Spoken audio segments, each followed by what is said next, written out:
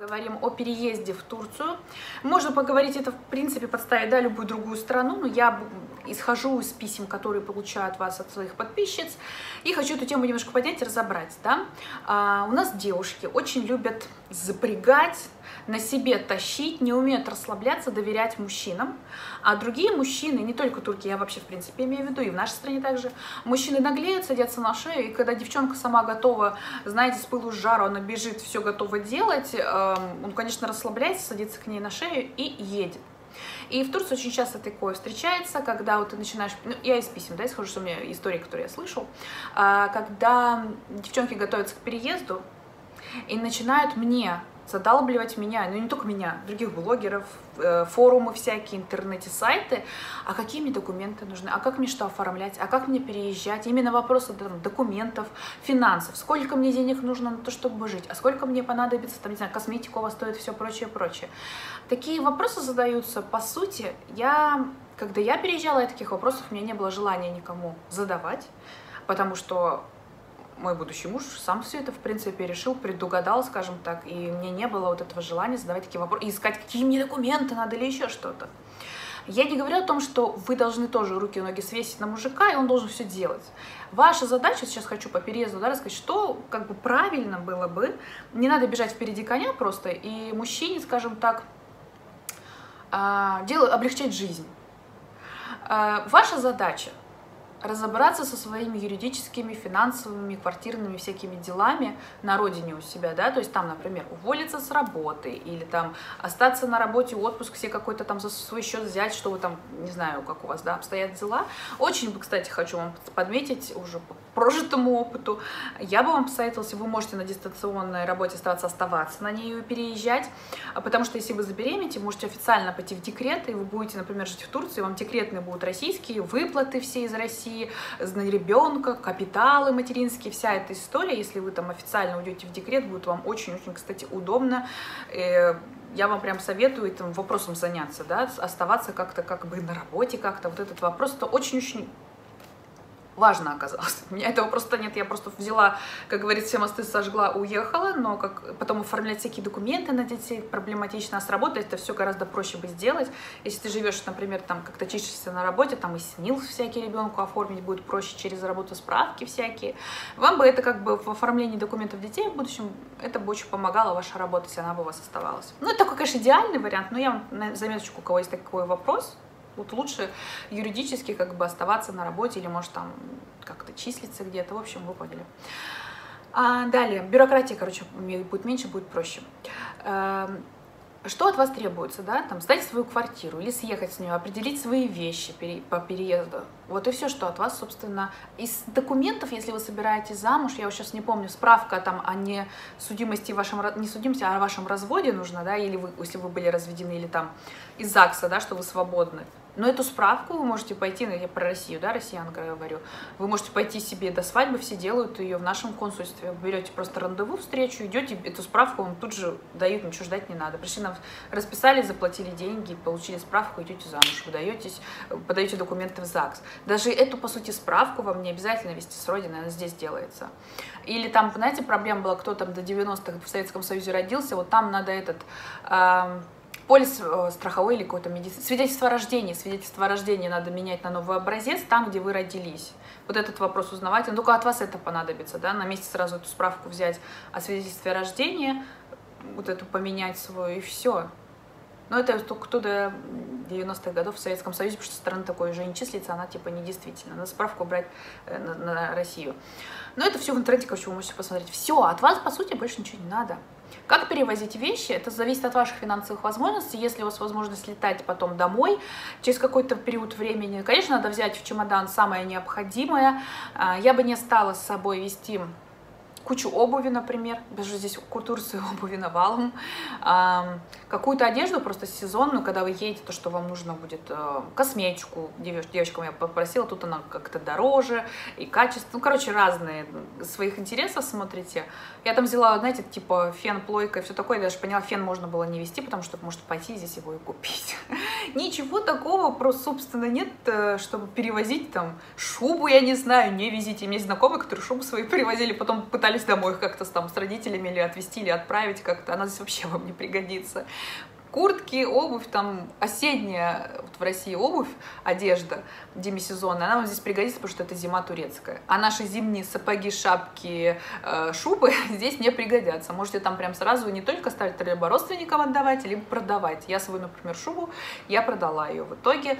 Э, я одевала ее, когда приезжала первые пару лет, потом я поняла, что зимой летать мне в, тур, в Россию холодно, неудобно и делать там зимой нечего, и реально как бы скучно, что холодно, никуда не сходишь, не погуляешь толком, да, вот эта вся история, только по гостям.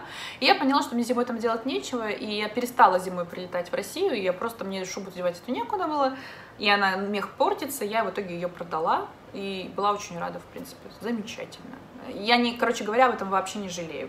А нам здесь вообще бы никогда не пригодилось, в России точно так же. Потому что купить какой-то демисезонный пуховик теплый, когда сейчас навалом вообще разных, приехать, чтобы в Россию зимой, вообще проще пареной репы, короче говоря. Э, это вообще не проблема, такая теплая верхняя одежда. Я именно про Сибирь говорю. Москва-то вообще там, да, потеплее и все прочее, какие другие регионы. Я именно про прям морозы, там, минус 25 зимой. Вообще, короче, девчонки, кто оттуда из Сибири, со мной не проблема, продавать свою шубу, не парьтесь. Зимние сапоги тоже мне не пригодились вообще ни разу. А, и далее. А, и все, собственно, что от вас нужно-то? Какие-то свои вещи распределить только грамотно, как вы будете переезжать, и когда вы сможете вернуться за там, второй частью, и все. Я перевезла свои вещи буквально, наверное, за три раза. Ну, нашебные какие-то. Но это с учетом того, что большинство я оценивала, что я буду носить в Турцию, что мне пригодится, что нет. Я все раздавала, раздаривала, что-то продавала. И ну, я вообще в основном раздала всем родственникам, подружкам и все такое. То есть я избавилась максимально от ненужного. Очень много дала всяких офисных платьев, хотя их можно было, по сути, сюда привезти. Я знаю, что зря я, не зря я это сделала, я бы зря их сюда везла, потому что здесь это носить особо мне было негде. У меня другой стиль жизни стал, и они мне эти платья здесь просто были нужны. Те, которые я, может, там штук 5-6 привезла, в итоге я их э, куда-то сплавила, не помню, кем то я выкинула, раздала, отдала, и они у меня обратно, короче, в Россию уехали. Мне здесь некому было отдавать, я своей племяннице что такое отдала. Короче, не надо было даже это вести. Мне здесь именно по одежды это не подходит, и одежда здесь Турции навалом, и здесь можно все это купить. По поводу вашего мужчины. Когда девчонки узнают про документы, девочки, когда оформляется ИКОМЕТ, ЕИКОМЕТ сайт – там есть все на русском языке. Это первое. Вы можете все там посмотреть, не надо мне спрашивать список документов, как вам оформлять там и все прочее. Во-вторых, там есть горячая линия, на которую отвечают по-русски на русском языке.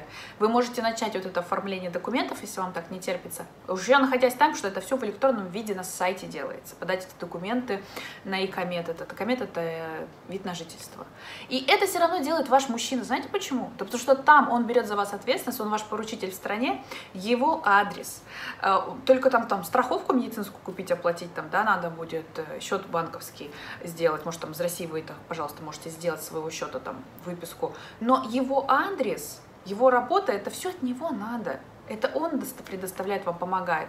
А если вы замуж уже вышли и переезжаете, то э, и комет жены вообще полностью по всем вообще с вас только фамилия ваш паспорт там и все и старый комет если он там был.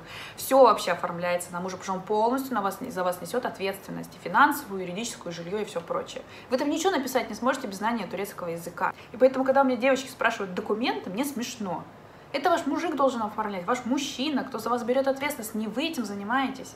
Или вы мне это спрашиваете, потому что вы в это вообще еще не вникали, вам, наверное, есть такие люди, которые ничего не знают. Ну, я спрошу, мне расскажут, все, мне так проще будет, лучше упрощают себе задачу. Но я вам ничем помочь не могу, потому что это все равно не вам делать и не мне, это ваш мужчина будет все оформлять. Все очень предельно просто. И вот уже все остальное, конечно, это идет на вашем мужчине. Это квартира, где вы будете жить, есть ли у него жилье, съем жилья, все прочее, зарабатывание финансов, денег, чтобы вас кормить, вам что-то купить нужно будет. То есть вы дополнительный ежедневенец, что, в виде на жительства-то и оформляется у вас, он несет за вас ответственность и юридическую, и ваше проживание в стране нахождения. Вы работать не можете по этим документам, так что, ну, легально я имею в виду. Имейте в виду, что да, он берет всю эту ответственность на себя. А если вы хотите как умная, типа, там, знаете, типа, прогнуться, показать, что я тоже ответственная, что я к тебе на шею не сяду, вся эта история, я вот сама буду узнавать про документы, ну, вы помыкаетесь, попыкаетесь, типа, узнавать будете, а для чего? Он все равно ваши документы, мужчина ваш оформляет. От него это все зависит, не от вас. Билеты вы себе только купите. Ну, короче, вы ничего здесь не решаете. И это надо принять, от этого никуда не денешься. И у вас будет адаптация. Вы вообще, из, вот мне, честно скажу, когда переехала, мне из двора страшно было выйти, что я не знаю ни языка, ни людей. И вообще ничего не понятно было, что вокруг происходит. И это какое-то время занимает. И не, это не неделя-две, это месяцы. Первые полгода у меня такое, через полгода прошло вот это ощущение, какое-то чувство безопасности стало появляться, потому что я понимаю реакции людей, как-то привыкла. Полгода. Учитывая то, что я еще домой летала, скажем так, адаптироваться раз в три месяца каждый там навещала, мне было не так тяжело. А вот, так что к переезду ваша задача переезжать, готовиться, чисто вот решить свои юридические, финансовые, там, квартирные, вещевые, одежды, вопросы. Все, с вас ничего больше не надо. Все решает ваш мужчина. Что вы здесь без знания языка, никто, никак и без документов ни о чем вообще. Ни алло, ни улю, вы турист. Просто с правом на жительство туристическим в течение года, чтобы просто визу, ну типа виза у вас есть. Все. И все это берет на себя мужчина. Но вот это просто, когда вы бежите впереди паровоза и пытаетесь что-то типа решать и делать деятельность свою показываете, вы ничего не решаете. Вы просто э, тратите свое время. А я бы вам вообще, честно, главный вывод сделала, посоветовала вот это все на родине своей решить и смотреть, как узнает ваш мужчина, как он к вашему переезду готовится, там, квартиру, э, там, деньги и все прочее, документы хочет ваши э, оформлять. Потому что мне, когда я переехала, там муж купил билет, там квартира, все понятно.